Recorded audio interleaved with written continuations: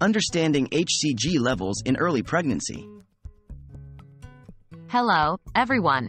Today, we're going to dive into the fascinating world of human chorionic gonadotropin, or HCG, which plays a crucial role in early pregnancy. We'll focus on the typical range of HCG levels during the first week of pregnancy. What is HCG? Before we delve into the numbers, it's essential to understand what HCG is.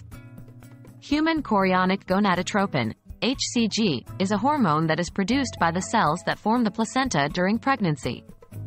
HCG can be detected in the blood and urine of a pregnant woman as early as a few days after conception, hence its significance in pregnancy tests. The normal range of HCG levels in the first week.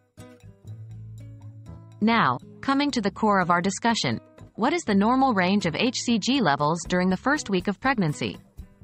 Firstly, it's important to understand that HCG levels can vary greatly among different women and different pregnancies in the same woman. However, there is a general range that is considered normal. In the first week following conception, the levels of HCG are typically quite low. The levels are usually less than 50 milli international units per milliliter, mu per milliliter. Please note, in the first week of pregnancy, HCG levels can sometimes be too low to be detectable on a pregnancy test, especially those tests conducted at home. Progression of HCG levels. As the pregnancy progresses, the HCG levels rise exponentially. By the end of the first week, they may still be quite low. However, these levels typically double approximately every 48 to 72 hours. So, by the end of the second week, they are much higher.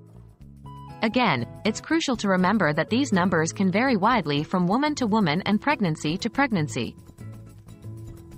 In conclusion, HCG is a significant hormone in early pregnancy, and its levels can give us essential insights into the progression of a pregnancy.